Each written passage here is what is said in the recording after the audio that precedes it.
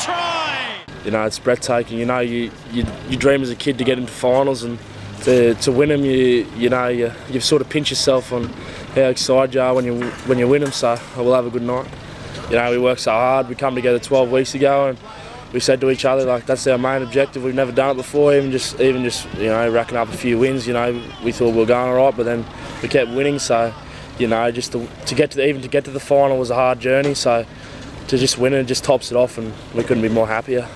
Wow, just huge result. Um, yeah, to come down here, um, to be down two converted tries, you know, and to come back and to finish in that style, it's just incredible. This team, you know, there's so much beaten under here. There's so much going on up here. The mindset and uh, and they just they went to work, you know, um, and I was just so proud of them. Me and Paul Kreiser, my staff that supported me.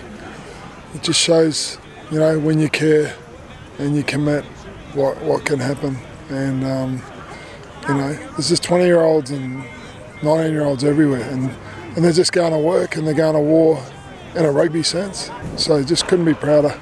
Everyone goes on about New Zealand, all the talent. Mate, we got talent coming through everywhere. Um, but you got to realise that talent. You got to train it properly. You got to you got to get them caring about the game, caring about you know each other and who they represent, and all that skill stuff and all that other stuff. You, you know structures and all that stuff.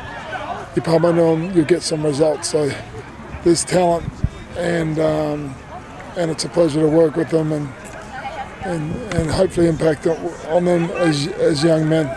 I'm an ex-player, I'm a footballer, so I'm not a career coach. I don't have all this experience of turning teams around, but uh, I knew good stuff had happened with the 20s, uh, and I thought, you know, if we we'll see how it goes. And everything that I love about the game, number one is the camaraderie, caring about your mate, caring about who you. Uh, the cause that you're trying to achieve, caring about who you rep- represent. Queensland Reds, um, I'll give it a good crack. Anything that I know is good, I will pour it in. Everything I have, I will give it. It's a big job. There's no, I don't want any yap out of me about what we're going to do.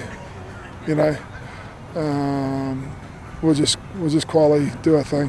It's the greatest feeling in the world. Um, I don't think I've um, played a grand final, or even won a grand final in a long time, and it's the best feeling in the world. And I couldn't I couldn't be proud of, of the boys and they deserve nothing but the best. Oh, this is just the beginning. Um, we're still a young, young bunch of boys, and um, I think we're probably one of the youngest teams in the comp, and, and to, to take it out this year. And I think this is just a start, and we're just going to get better and better as the years go on.